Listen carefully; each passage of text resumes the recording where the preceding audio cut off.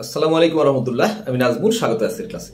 নাজমুলক education ফ্যামিলির পক্ষ থেকে তোমাদের সকলকে শুভেচ্ছা এবং স্বাগতম। সুপ্রিয় হ্যাঁ নবম শ্রেণির শিক্ষার্থী বন্ধুরা, আলোচনা করব লগারিদমের ধারণা ও তার প্রয়োগ।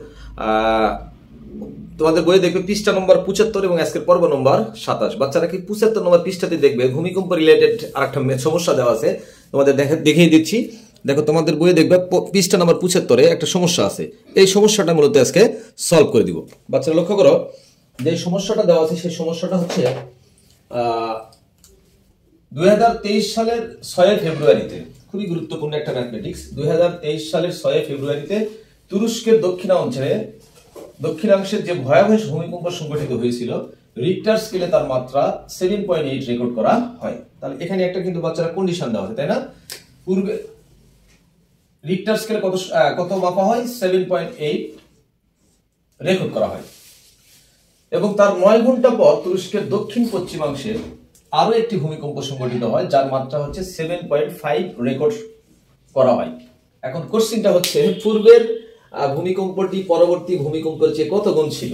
রাইট তবে এই সাতাশ নম্বর পর্ব দেখার আগে অবশ্যই তোমাদের পর্ব চব্বিশ, তেইশ, চব্বিশ, পঁচিশ, ছাব্বিশ, ভূমিকম্প রিলেটেড চারটা পর্ব আপলোড দেওয়া আছে, অবশ্যই তোমরা দেখে আসবে। তাহলে এই পর্বটা তোমাদের কাছে একদম সোজা মনে হবে, বাচ্চারা। লক্ষ্য করো আরেকবার পরে দিচ্ছি। দুই সালের ছয় ফেব্রুয়ারিতে তুরস্কের দক্ষিণাং- দক্ষিণাংশের যে ভয়াবহ ভূমিকম্প সংঘটিত হয়েছিল রিক্টার স্কেলে মাত্রা মাপা হয় কত? সেভেন পয়েন্ট এইট এইটা একটা কন্ডিশন বাকিগুলো আমার দেখার কোনো প্রয়োজন নাই। দু সালে ছয় ফেব্রুয়ারি এটা কোনো ফ্যাক্ট না, এটা জাস্ট অতিরিক্ত অংশ। তাহলে রিক্টার স্কেলে তার মাত্রা ছিল সেভেন পয়েন্ট এইট রেকর্ড করা হয় এবং ঠিক তার after nine years nine hours later নয় ঘণ্টা পর তুরস্কের দক্ষিণ পশ্চিমাংশে আরও একটি ভয়- ভয়াবহ, আরও একটি ভূমিকম্প সংঘটিত হয়, যার মাত্রা হচ্ছে কত? সেভেন পয়েন্ট ফাইভ রেকর্ড করা হয়। তাহলে আমার কোশ্চিনটা হচ্ছে যে পূর্বের ভূমিকম্পটি পরবর্তী ভূমিকম্পের চেয়ে কত গুণ বেশি ছিল? বাচ্চা লক্ষ্য করে, এই ধরনের একটা ম্যাথ কিন্তু আমি অলরেডি আপলোড দিয়েছি। দেখো, এটা নতুন, পরেরটা। তাহলে মনে করি সলিউশনের দিকে লক্ষ্য করো। সলিউশন মনে করি, বাচ্চা দেখো, মনে করি আই ওয়ান পূর্বের ভূমিকম্পের মাত্রা। আই ওয়ানটা হচ্ছে কি বাচ্চারা? মনে করি আই ওয়ান হচ্ছে পূর্বের ভূমিকম্পের তীব্রতা। আই ওয়ান আই দ্বারা তীব্রতা প্রকাশ করা হয়, তোমরা আগে পর্বতে দেখছ। আই ওয়ান হচ্ছে পূর্বের ভূমিকম্পের ভূমিকম্পের তীব্রতা রাইট এবং আই টু হচ্ছে পরবর্তী পরবর্তী ভূমিকম্পের ভূমিকম্পের তীব্রতা রাইট কারণ দুইটা ভূমিকম্প সংঘটিত হয়েছে, যে প্রথমে রেক্টার স্কেলে মাপা হয় সেভেন পয়েন্ট এইট এবং নয় ঘণ্টা পরে আবার আরেকটা ভূমিকম্প, আরেকটি ভূমিকম্প সংঘটিত হয়েছে, যার মাত্রা হচ্ছে সেভেন পয়েন্ট ফাইভ তাহলে মনে করি আই ওয়ান হচ্ছে পূর্বের ভূমিকম্পের তীব্রতা এবং আই টু হচ্ছে পরবর্তী ভূমিকম্পের তীব্রতা। আর এস হচ্ছে কি এসটা কি মনে আছে তোমাদের? এস হচ্ছে আদর্শ ভূমিকম্পের তীব্রতা এবং এবং এস হলো আদর্শ আদর্শ ভূমিকম্পের ভূমিকম্পের তীব্রতা। রাইট বাচ্চারা? এস হচ্ছে আদর্শ ভূমিকম্পের তীব্রতা। তাহলে রিক্টার স্কেলে এটা আমরা প্রকাশ করব। সুতরাং সুতরাং রিক্টার স্কেলে রিক্টার স্কেলে রিক্টার স্কেলে এটা আমরা কীভাবে প্রকাশ করতে পারি? আমরা পূর্বের পর্ব থেকে আমরা শিখছি, তাই না বাচ্চারা? পূর্বের ভূমিকম্পের মাত্রা, পূর্বের ভূমিকম্পের ভূমিকম্পের মাত্রা। এটাকে আমরা লিখতে পারব log ten base I one divided S right log ten base I one divided S সুতরাং এখানে আমরা যদি মানটা অ্যাপ্লাই করি যে log ten base I one divided S এটার মাত্রা কত ছিল বাবারা? দেখো তো seven point eight seven point eight এটা ইকুয়েশন নাম্বার এক। এটা হচ্ছে ইকুয়েশন নাম্বার এক। তাহলে, পরবর্তী ভূমিকম্পের মাত্রা রাইট পরবর্তী ভূমি কম্পের মাত্রা। মাত্রা কত ছিল? পরবর্তী ভূমিকম্পের মাত্রা ছিল সেভেন দশমিক ফাইভ সরি পরবর্তী ভূমিকম্পের মাত্রা রাইট তাহলে পরের, পরবর্তী ভূমিকম্পের মাত্রাটাকে আমরা প্রকাশ করতে পারি টেন লগ অর্থাৎ log ten base I two divided S right এখন এই মানটা যদি আমরা বসে দিই, যে পরবর্তী ভূমিকম্পের মাত্রাটা, অর্থাৎ ওইটা এই পাশে লিখলাম log ten base I two divided S equal to কত? সেভেন দশমিক ফাইভ সমীকরণ নম্বর কত বাচ্চারা? দুই। তাহলে দেখো মনে করি আই ওয়ান হচ্ছে পূর্বের ভূমিকম্পের তীব্রতা ইন্টেন্সিটি আই টু হচ্ছে পরবর্তী ভূমিকম্পের তীব্রতা, এবং এস হচ্ছে স্ট্যান্ডার্ড আর্থকোয়াক অর্থাৎ আদর্শ ভূমিকম্পের তীব্রতা। তাহলে রিক্টার স্কেলে এটাকে এটাকে যখন আমরা প্রকাশ করব, কি পূর্বের ভূমিকম্পের মাত্রাটাকে আমরা লিখতে পারব?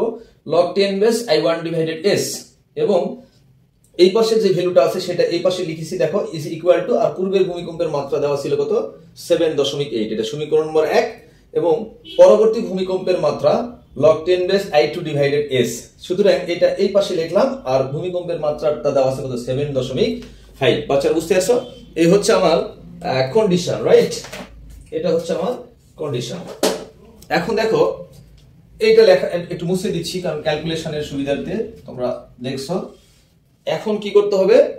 যে এক নং সমীকরণ থেকে দুই নং সমীকরণ বিয়োগ করবে বাচ্চারা, দেখো, এক নং সমীকরণ থেকে এক নং সমীকরণ থেকে দুই নং সমীকরণ সমীকরণ বিয়োগ করে পাই।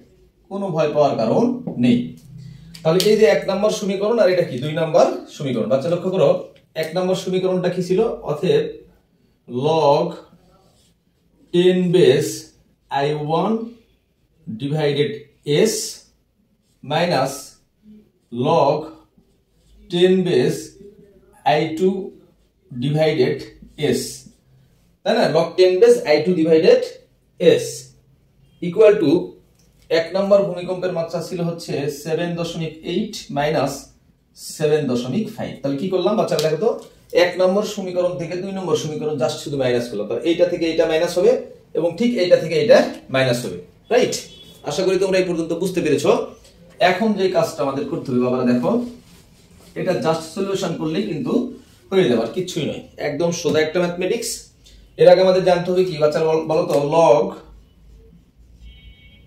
এম ভাগ এন রাইট তাহলে লগ এম ডিভাইডেড এন এটাকে আমরা কি লিখতে পারব? Log M minus log N কারণ কি? ভাগ অবস্থায় থাকলে মাইনাস হয়ে যাবে। নিচের যে বানটা থাকবে, সেটা কি হয়ে যাবে?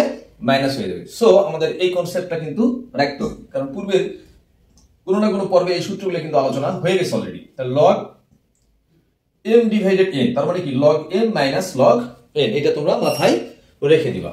এখন আসো বাচ্চারা, এখানে ঠিক সেম ঘটনাটাই ঘটেছে। তাহলে কি হইল দেখো, বা log ten base I one divided S তার লগ এ ডিভাইডেড বি বা এম ডিভাইডেড এন আকারে আছে, সুতরাং এটাকে আমরা প্রকাশ করতে পারব log ten base I one minus log ten base S bracket minus এটাও ঠিক সেম সেম এস ক্যাটাগরিতে আমরা লিখতে পারব log ten base I two right minus log ten base S is equal to seven দশমিক এইট থেকে seven দশমিক five যদি আমরা মাইনাস করি, সেক্ষেত্রে পাবো জিরো পয়েন্ট থ্রি বাচ্চারা কত পাবো? জিরো পয়েন্ট থ্রি এখন দেখো এটা ক্যালকুলেশন করলেই আমরা উত্তর পেয়ে যাব। তাহলে কি হবে? ব্র্যাকেটটা তুলে দিলাম। ব্র্যাকেটটা বাদ দিয়ে দিচ্ছি। তাহলে কি লিখতে পারব? Log ten base I one minus log ten base S তাহলে মাইনাস দ্বারা গুণ করলে minus log ten base I two minus plus log ten base S is equal to zero দশমিক থ্রি এখন দেখো, এখানে একটা মজার ব্যাপার।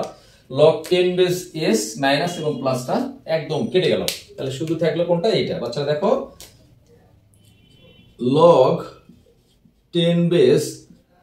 one minus log ten base I two is equal to zero দশমিক থ্রি রাইট আচ্ছা এখন দেখো তো ঠিক ওই একই ব্যাপার log A minus log B তাহলে লগ কি হয়ে যাবে? ভাগ হয়ে যাবে, তাই না? One divided I two is equal to zero দশমিক থ্রি ইজ ইকুয়াল টু কত হবে বাচ্চারা? জিরো দশমিক থ্রি রাইট এখন এটাকে আমরা কি করব? সূচকের মাধ্যমে প্রকাশ করব। বাচ্চারা কিসের মাধ্যমে প্রকাশ করব? সূচকের মাধ্যমে প্রকাশ করব। তাহলে সূচকের মাধ্যমে যদি আমরা এটা প্রকাশ করতে চাই দেখো এই পাশের দিকে দেখো যে এতে লগের বেস এবং সূচকের বেস কিন্তু সেম হবে। লগের বেস এবং সূচকের বেস কিন্তু সেম হবে। সো আর লগের যে মানটা আছে, সেটাই পাশে আসবে। দ্যাট ইজ আমরা লিখতে পারব I one divided I two is equal to ten to the power zero দশমিক three right ten to the power zero দশমিক থ্রি বাচ্চারা দেখো ten to the power zero দশমিক থ্রি তাহলে কি করলাম? এই যে, এই ভ্যালুটাকে একটু তোমরা গুরুত্ব সহকারে দেখো, যে এই লগটাকে আমরা সূচকের মাধ্যমে প্রকাশ করলাম। কিসের মাধ্যমে প্রকাশ করলাম? সূচকের মাধ্যমে। সো আমরা লিখতে পারব log ten base I one divide I two is equal to zero দশমিক থ্রি তাহলে কি হবে? লগের যে বেসটা থাকবে, সেটা হবে সূচকের বেস আর লগের যে মানটা থাকবে ইজ ইকুয়াল টু যে মানটা থাকবে, সেটা হবে সূচকের পাওয়ার আর এই যে লগের যে ভ্যালুটা সেটা হবে আই ওয়ান ডিভাইডেড টু এখন এটা যদি আমরা ক্যালকুলেটর ইউজ করি, তাহলে আমরা পেয়ে যাব ওয়ান দশমিক বা I one divided I two equal to আমরা পেয়ে যাব ওয়ান দশমিক nine nine five something right তাহলে ওয়ান দশমিক নাইন নাইন সামথিং অর্থাৎ প্রায় অ্যাপ্রোমিক্স এটা দুইয়ের কাছাকাছি। সুতরাং আমরা লিখতে পারব যে I one divided I two is equal to two প্রায় এটা টু এর কাছাকাছি। সো আমরা এটাকে লিখতে পারব I one is equal to দুই গুণন I two right I one is equal to কত?